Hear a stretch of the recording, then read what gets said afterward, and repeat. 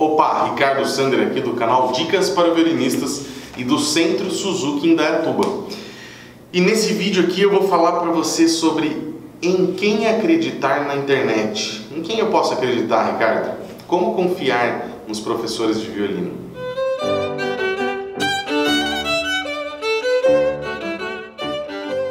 Bom, antes de começar, não deixa de se inscrever no canal, clica no se inscrever lá, inscrever-se, ativa o sininho, clica no sininho, deixa ele ativado que você recebe sempre que tiver um vídeo novo, ok? Compartilhe com seus amigos nos grupos, deixe seu comentário, deixe seu curtir se você gostar do vídeo, não esquece, com isso você está ajudando, você é uma forma de você retribuir esse trabalho que eu estou tendo de parar, gravar, editar, postar para vocês, porque eu não ganho dinheiro por isso, ok?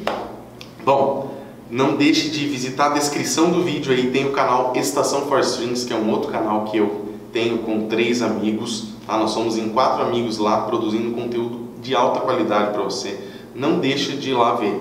Vai lá no Estação for Strings e também siga que eu estou pedindo para seguir sempre o Guilherme Sander, né? O canal dele também está embaixo, que é o meu filho, tem oito anos, violinista, tá tocando, gravando os vídeos dele, tocando as músicas que ele estuda, músicas é, que aparecem aí na televisão, enfim.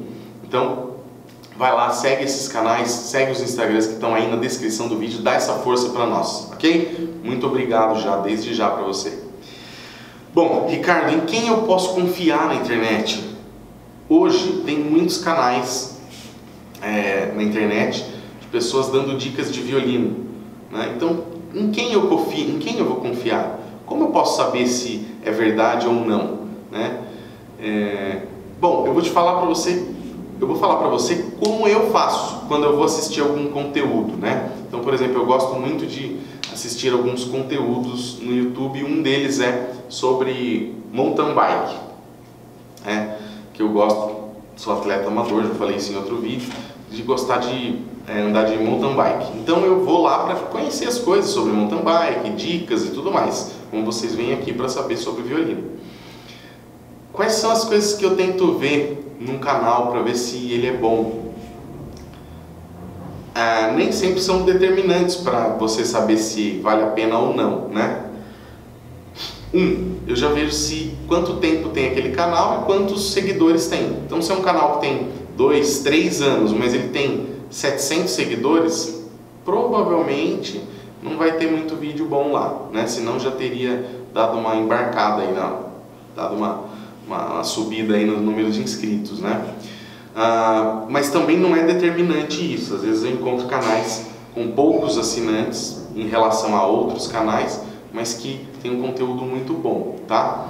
É, outra coisa é eu vou querer saber quem é a pessoa que está ali falando comigo naquele vídeo, né? Tem que ter algum lugar ela falando sobre ela, né? Então, por exemplo, aqui no meu canal, você pode ver sobre mim sempre na descrição do vídeo. Desde o começo do primeiro vídeo, eu coloco o meu currículo, um breve currículo, né? Falando quem sou eu. Ah, aprendi, estudei com quem, toquei aonde, fiz aula com quem, trabalhei aonde, tá? Então, por que, que eu faço isso? Porque para trazer uma segurança para você que está me assistindo. Quando você olha e vê, né? É, ah, o Ricardo estudou com fulano de tal, ele tocou em tal orquestra, ele tocou em tal orquestra, ele participou de tal festival, ele fez masterclass com fulano de tal. Se você vai atrás de saber disso, você vai vendo que, poxa, o cara fez isso daqui, ele não é um Zé Mané, né? Ok? E também, por exemplo, ah, eu sou o Ricardo Sander do Centro Suzuki em Dayatuba. Então, quando eu te falo isso, é para te dar uma referência. Por quê? Se você for pesquisar o Centro Suzuki em Dayatuba, é o meu estúdio tá? E aí você vai entrar também, tem o nosso canal lá dos alunos tocando, então a gente tem talvez, sei lá, 500 vídeos ou mais de 500 vídeos hoje já, é, de alunos tocando. Então você vai lá, você vai olhar o Ricardo, os alunos do Ricardo tocando, você vai falar, pô, peraí, cara, os alunos desse cara tocam muito bem, todos os alunos estão tocando bem, então esse cara ele sabe falar, olha a postura desses alunos, ele sabe ensinar, ele sabe dar aula, né? ele trabalha com isso, ok? Que a gente tem que tomar cuidado, às vezes é, é fácil hoje comprar uma câmera, um microfone, ter internet para subir o vídeo e aprender a editar.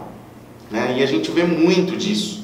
Né? A gente vê pessoas fazendo vídeos esdrúxulos, ridículos, né? ensinando coisas erradas, pessoas que não deveriam estar ensinando nada. Mas a gente vive né, num país onde existe essa liberdade. Né? Então as pessoas podem produzir o conteúdo que elas quiserem. Agora vai de você saber se você deve confiar ou não.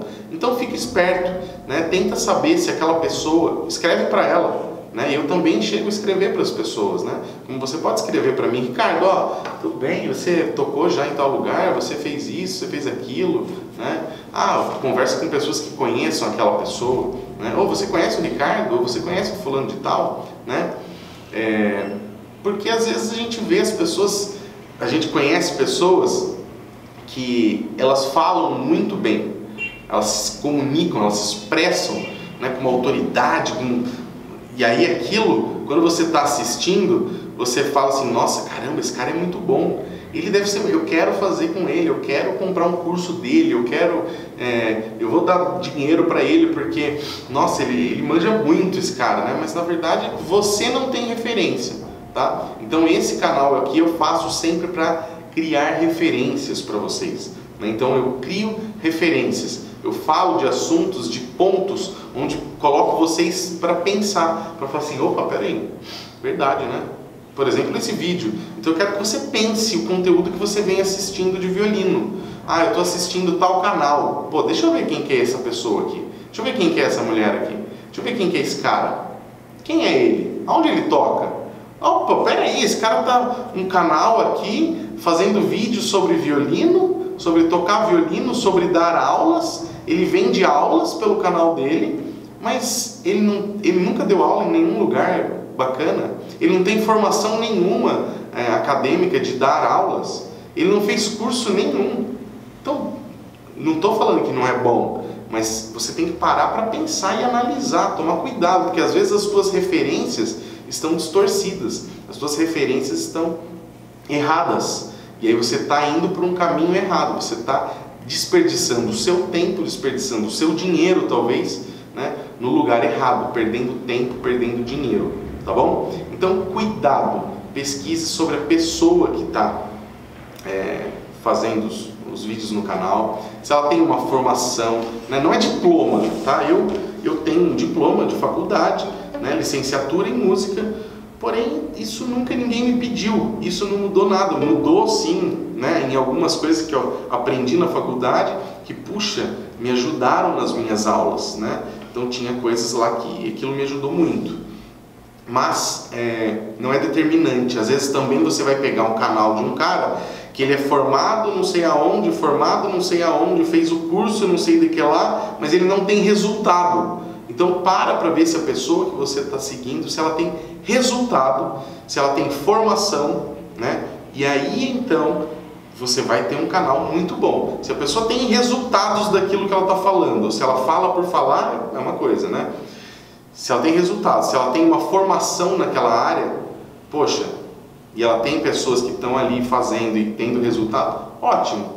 Então siga essa pessoa. Agora toma cuidado porque tem picareta de monte aí, tá bom? Então mesmo pessoas, eu vejo pessoas tocando desafinado, tocando totalmente errado, desafinado, com uma mão horrível de ar. E, e aí como a pessoa fala bem, ela se expressa, ela conta umas coisas que as pessoas que estão assistindo falam assim, nossa, essa pessoa é muito boa, essa menina é muito boa, eu vou seguir. E aí, às vezes, tem gente que entra para reclamar e fala assim: ah, vocês estão seguindo essa pessoa. E as pessoas defendem com unhas e dentes. Por quê? Porque aquela pessoa não tem referência. A referência que ela tem é aquilo lá. Então, gente, crie referências na sua vida. Sempre olhe para todos os lados, tá bom? Aumente o seu leque de conhecimento para que você tenha referências e possa escolher o que é melhor para você. Não se esqueça, se você gostou desse vídeo, deixe seu like, curte o canal, assina o canal, se inscreve lá na descrição, os canais que eu te falei, segue, ajuda a gente, capricha daí que eu capricho daqui. Muito obrigado, até o próximo vídeo.